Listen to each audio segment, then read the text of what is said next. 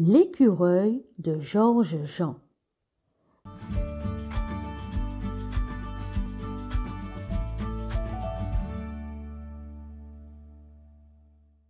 L'écureuil sur la feuille ouvre un œil, car il guette la noisette, ou parfois une noix.